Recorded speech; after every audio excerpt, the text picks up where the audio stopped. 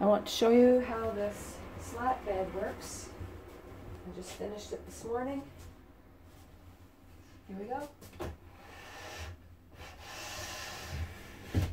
Just like that.